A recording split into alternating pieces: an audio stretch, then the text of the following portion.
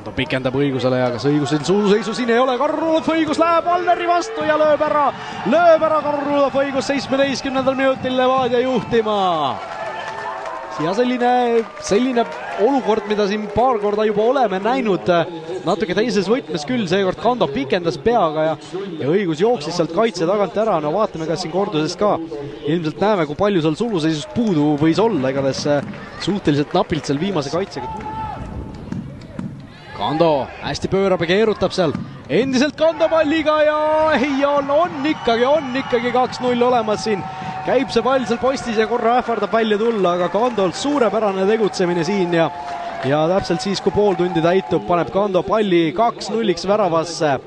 Levadia on siin poole tunniga kaks tükki kätte saanud Kalevi vastu ja natuke ähvardab ähvardab selline sarnane stsenaarium siin nagu eelmises omavahelises mängus Lillekülas, kus ka Levadia esimesel poolel suhteliselt kiiresti kaks tükki kätte sai ja